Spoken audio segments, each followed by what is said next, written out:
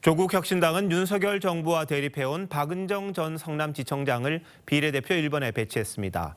그런데 박 후보 부부의 재산이 1년 사이 40억 원가량 늘어 논란입니다.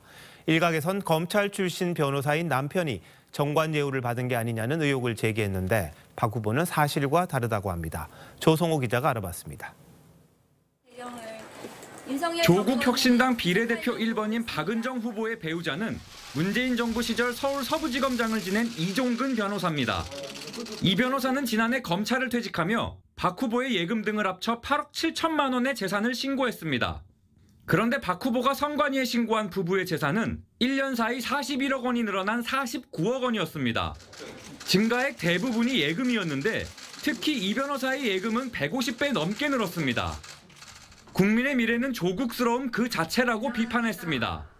당대표가 검찰 개혁을 발표하고 그 사이에 비례 1번의 정관예우 떼돈이 들통나는 이런 코미디 같은 녹색정의당도 조국 대표에게 박 후보 공천에 대한 입장을 밝히라고 압박했습니다. 조국 대표는 검찰 개혁을 위해 전관 예우는 철폐되어야 한다고 주장해 왔습니다.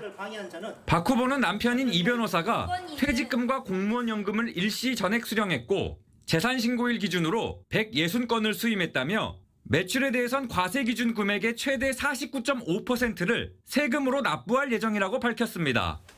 친문 검사라고 공격할 땐 언제고 무슨 전관 예우냐고도 했습니다.